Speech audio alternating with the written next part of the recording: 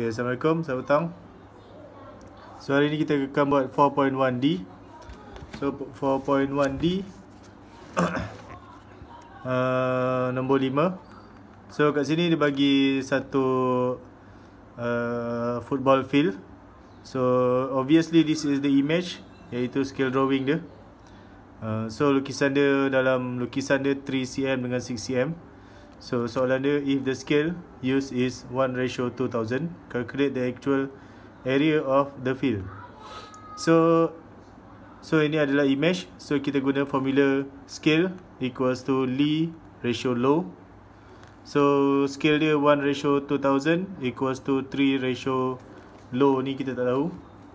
So kita nak cari low ni kita bandingkan dulu 1 dengan 3 macam mana 1 boleh jadi 3 Iaitu benda ni kena darab 3 So obviously bila yang ini dah darab 3 Sini pun darab 3 So low equals to 2000 times 3 Equals to 6000 cm So cm susah Kita tukar jadi meter uh, Divide by 100 So dapat 60 meter. So sama juga dengan Yang lagi satu low 2000 times 6 12000 so divide by 100 so dapat 120 meter. Okay? Okay so sini saya sama sini. So 120 meter dengan 60 meter.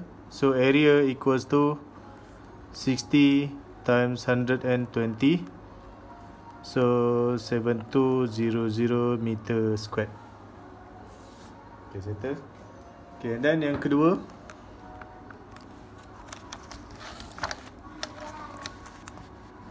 Mr. Denny cuts grass on the field at a rate 400 square meters in 8 minutes. Calculate the time uh, in hour and minute lah. So, So 7200 meter ni dia nak kena selesaikan. Dia kata 400 uh, meter square per minute. So so obviously kita kena bahagikan.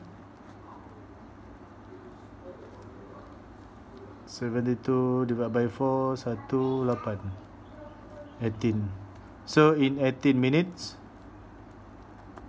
The work is done Thank you.